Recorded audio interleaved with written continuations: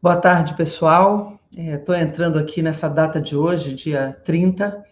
é, não sem antes prestar minha total e absoluta solidariedade a toda a população brasileira e as pessoas que nos ouvem nesse momento,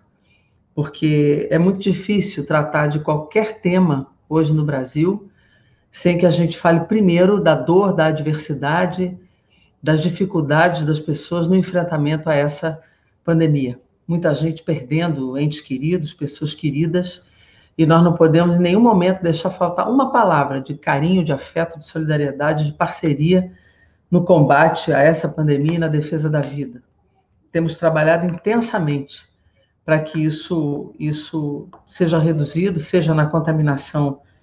ou nas mortes. Infelizmente, não temos é, um governo federal que auxilia, ao contrário, ele se comporta como um parceiro é, da pandemia e não um parceiro da sociedade, do povo. Né? Desde o início tivemos muitas dificuldades em relação a isso, mas nesse momento é, é eu quero falar de um, de um outro fato que é uma ação que nós tivemos, na medida em que a defender a vida também é defender a possibilidade das pessoas ficarem em casa e para isso elas precisam ter recursos, precisam ter o dinheiro para comprar o alimento, comprar o remédio e não precisar ir para a rua é, no sentido de buscar essa sustentação sua e das suas famílias. Então eu quero falar aqui de algo que nós precisamos celebrar, né, que foi a vitória desse setor da atividade econômica brasileira, esse setor do desenvolvimento humano, desenvolvimento econômico, que é a arte e a cultura. Eu tive o prazer de relatar a Lei Aldir Blanc,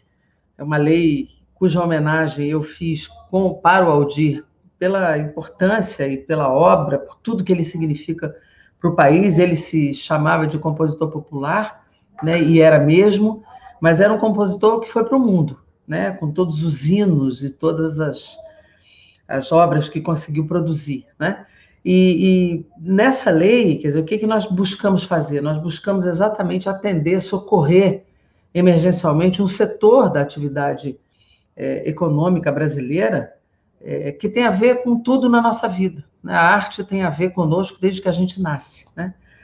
E nesse momento, a sanção da lei, que foi feita, foi publicada hoje, a sanção da lei Aldir Blanc, que ganhou o número de 14.017 de 2020,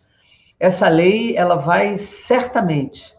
é, produzir efeitos e impactos muito importantes para a vida, não apenas dos artistas, técnicos, produtores,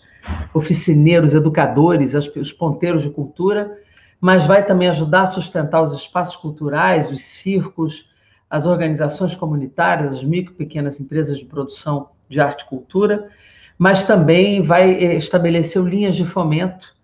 é, para os editais, chamadas públicas, prêmios, aquisição de bens e serviços,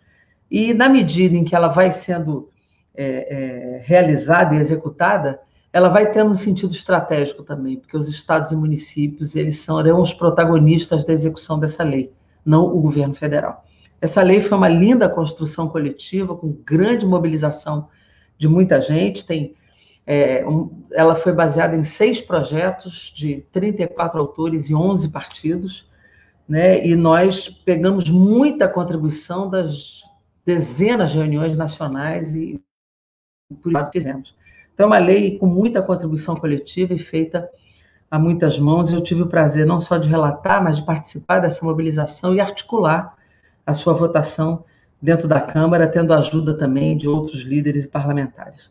Então, essa lei foi é, sancionada hoje, e agora, esta fase, este momento, é de que a sociedade inteira cobre é, do governo a edição da medida provisória com o crédito do valor dessa lei, que é um valor de 3 bilhões de reais, dividido um bilhão e meio para os estados, um bilhão e meio para os municípios, com critérios muito claros de distribuição. Então, esse é o momento do pague já, né? Houve a sanção da lei, agora nós temos que